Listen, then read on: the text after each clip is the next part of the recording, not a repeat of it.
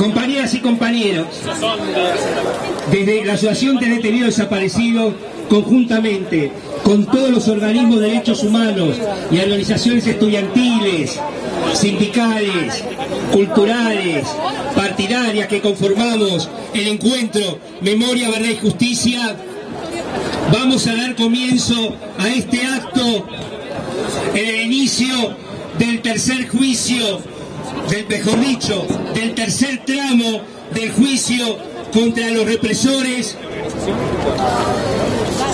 que eh, secuestraron, torturaron, asesinaron, violaron, desaparecieron a más de 5.000 compañeros en la Escuela de Mecánica de la Armada. Compañeras, compañeros, nosotros estamos acá dando una vez más una batalla en este tercer juicio que se inicia.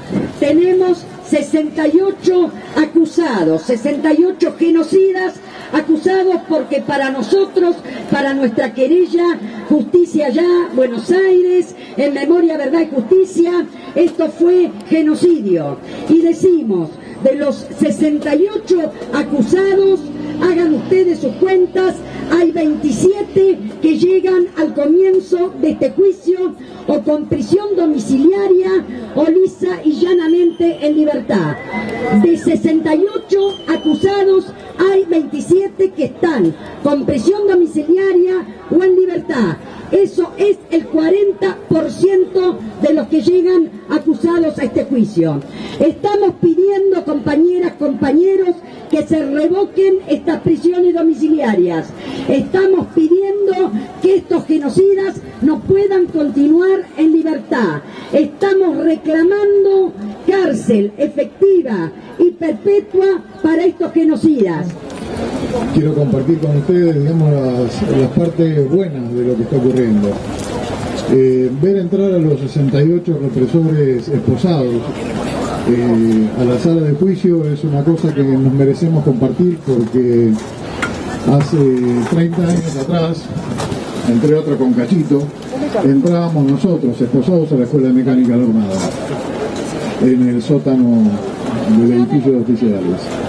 Haber revertido esta historia con tantos años de lucha es hoy una, es un orgullo que tenemos que compartir. Compañeros, somos todos nosotros los que hemos logrado esto. Eh, cada uno con su esfuerzo hizo posible esta situación que se dio hoy.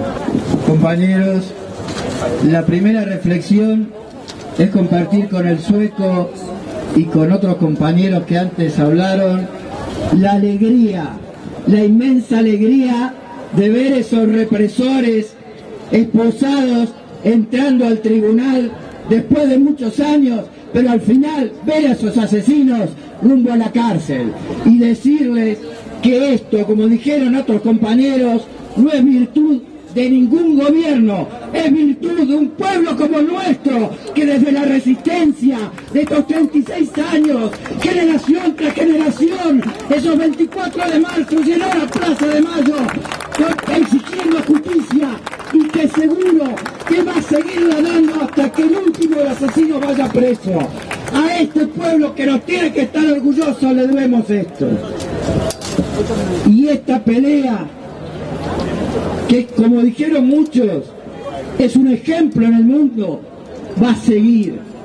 Porque si algo está internalizado en el pueblo argentino, es que aunque los gobiernos lancen leyes para protegerlos como el punto final de la obediencia de vida, como los indultos, o hagan las maniobras a través de la procuración fiscal para desguazar las causas y atrasar los juicios como hizo Riggi y los procuradores que, que le precedieron.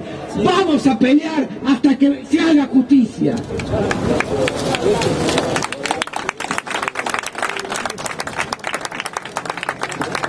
Vamos a pelear porque es un reclamo a nuestro pueblo levantar justicia por ayer, contra la impunidad de ayer y contra la impunidad de hoy. Como se decía en el documento del 24 de marzo de este año de memoria, es un logro la cantidad de presos y de asesinos que están procesados, sin embargo son una minoría. Llegan a los 800 sobre miles y miles no llegan a dos por campo de concentración.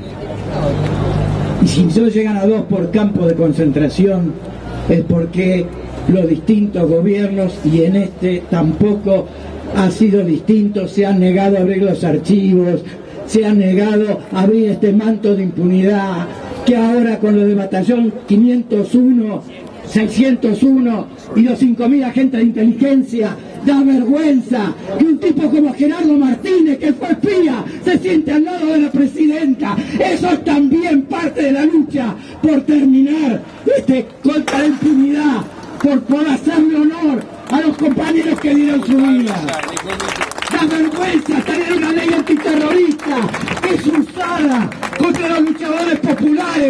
tenemos 5.000 causas abiertas.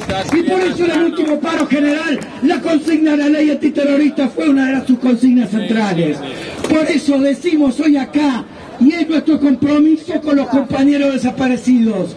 Vamos a seguir luchando, vamos a seguir luchando por lo que ustedes pelearon, que si es por una Argentina sin la pobreza y la miseria que aún conservamos. Y como si muestra faltar un botón, le digo que estoy muy contento porque acaba de absolver a María Obando, la compañera misionera con 12 pibes, indigente, que fue presa porque se le murió una piba de desnutrición.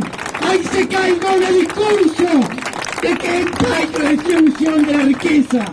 Ahí, ahí está la lucha nuestra y de todos los compañeros que desaparecieron. Muchas gracias, compañeros.